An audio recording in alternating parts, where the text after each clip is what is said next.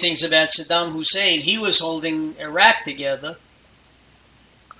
You know, and if we didn't go into Iraq to get rid of Saddam Hussein, none of this would be going on right now. That's true. One of the big things also uh, that they were saying, and this is what I've been saying all along, is they're saying basically that we were lied to, saying that it was a uh, protest based on the videos. Well, that's what she said originally, but I think very quickly after that, you know, the truth came out Yeah, that like that had nothing to do with it. Yeah, but they, they knew it. It was six days later before it came out. Okay. But they knew it all along that it well, wasn't. They, you know, they- I hate to say this, but I I question sometimes some of the uh, some of the veracity uh, that that the supposed veracity that comes out of Washington. You know, I mean, they tell us what they want us to know, and Yeah. and that's it. You know. Yeah, because they had taught they they had uh, they had a email that she sent to her daughter that night saying uh, it looks like an Al Qaeda type group attacked the, the embassy.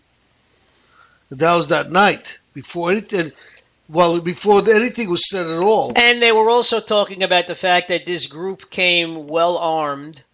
It, you know, so I mean, if it was if it was a protest about some video, they would have, you know, placards and signs. They wouldn't None. necessarily have guns. And tanks. You know, pretty hard to hide a tank. You know? Yeah, I mean, yeah, oh yeah, we're coming in with a protest with the tanks and the and the Toyotas. They all have Toyotas. They all. They all have the Toyota. Well, you know, Tucson's, you know, whatever. changing changing the, uh, you know, just digressing for a moment.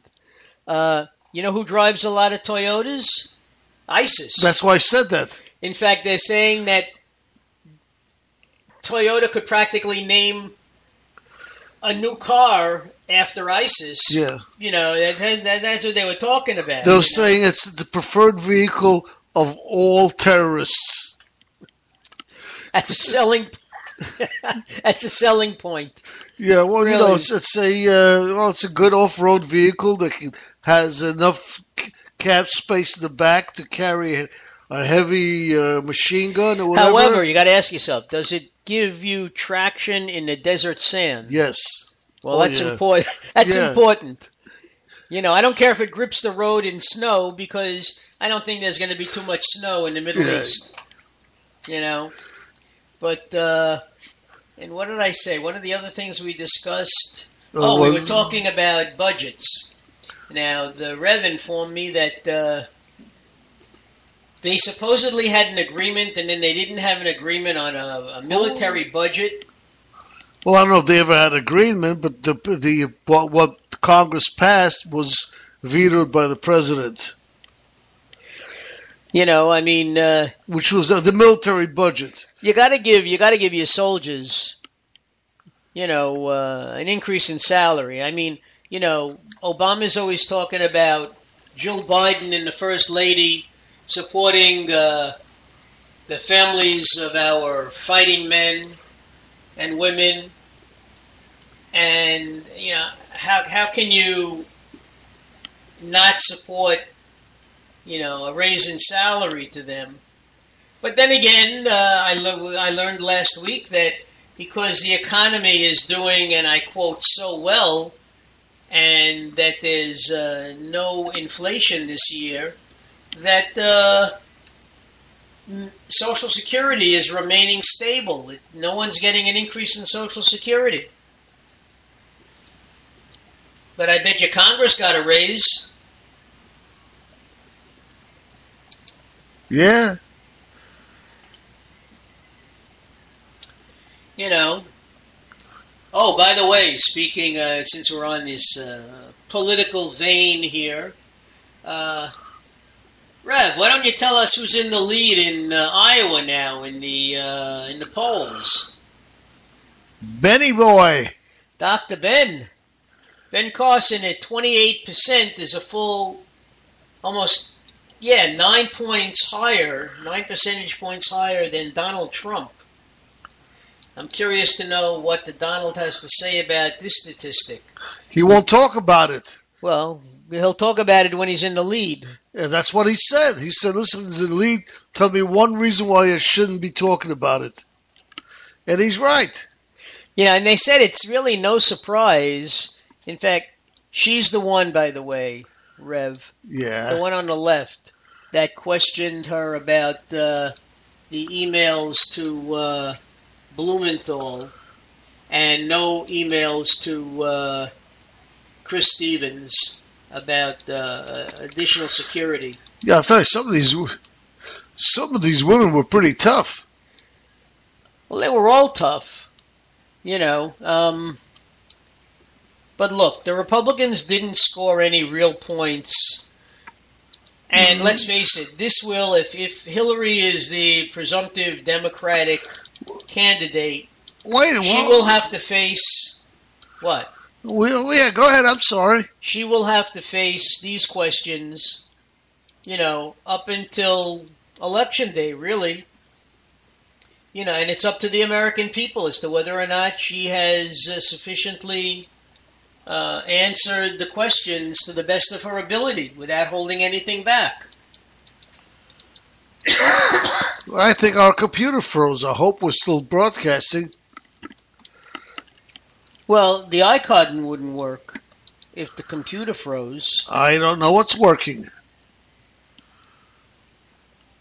Let's see. Uh, okay, that's part is working. Hello, we're working, ladies and gentlemen. Luckily, I don't think what we worried about froze. Something else froze that we're not worried about. Okay, so what did freeze? Okay. I don't know what froze. But there's uh, there's more to talk about in politics. Paul Ryan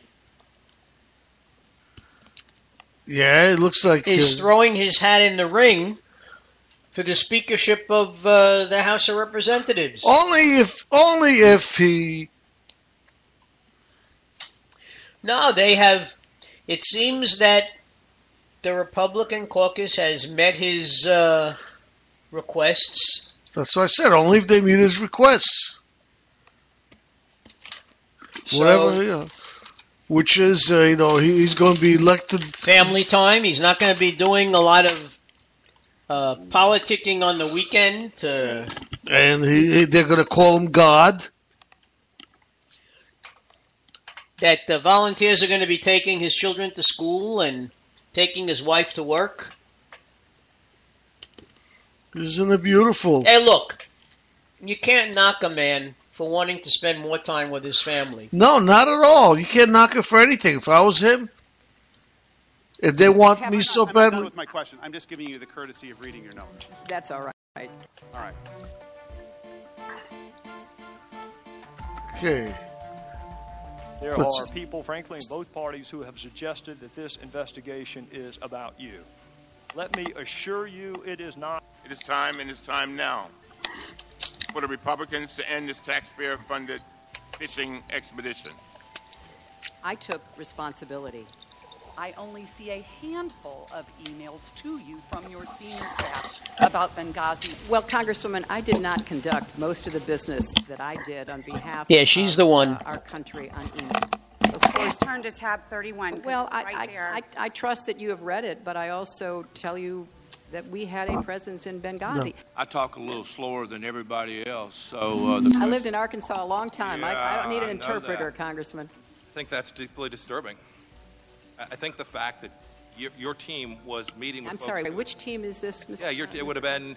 We, we don't know exactly who. Well, it would held be the meeting with helpful- It would have been one of the one of your State Department employees, Madam Secretary. I don't know which one. So you can't be square with the American people. I wrote a whole chapter about this in my book, Hard Choices. I'd be glad to send it to you, Congressman. You know, I would imagine I've thought more about what happened than all of you put together. I've lost more sleep than all of you put together. One of the horrors of the hours after the attack was our failure to be able to find where the ambassador was. We thought things would be safe once they took refuge in the CIA annex. It turned out also to be a target for the militants. I want not just the committee members, but any viewers in the, in the public to understand that this was the fog of war. When Gaddafi himself is finally removed, you should, of course, make a public statement before the cameras wherever you are, even in the driveway of your vacation home. You must go on camera. That was Blumenthal's admonishment to you. And I don't recall doing that, just Well, in case you're going to ask me. Yeah, but I mean, look, the timing. This is not a prosecution, Mr. Schiff. You and I are both familiar with them. I've reached no conclusions, and I would advise you to not reach any conclusions either until we reach the end.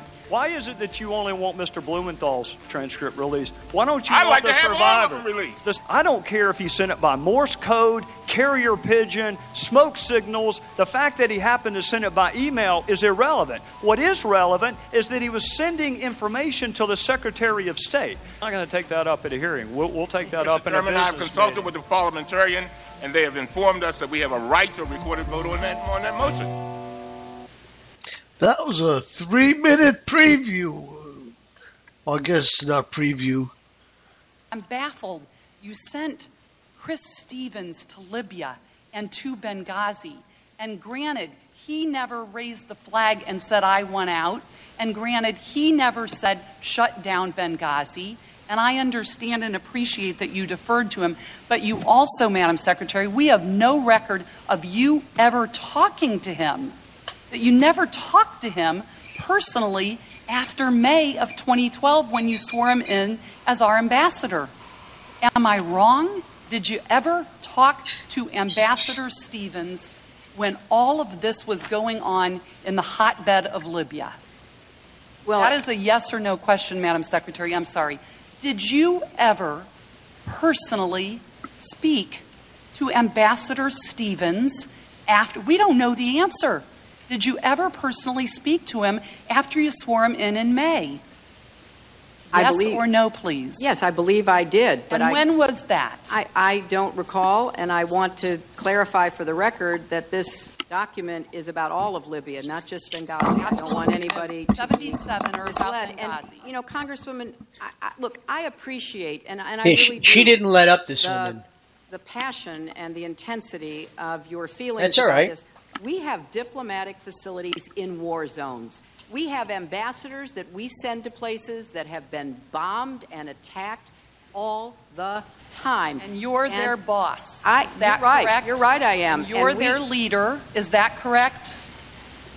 And is there are there ever situations where you call them, where you bring them in, where you are personally caring and concerned and are letting them know that? Are, are there situations where you recall, and I'd like to know what the conversation was with Ambassador Stevens and what month it was with Ambassador Stevens, because there are no call logs with him. There's nothing from the Ops Center with him that we have found. We have no record that you had any conversations with the ambassador after you swore him in and before he died, and you were his boss.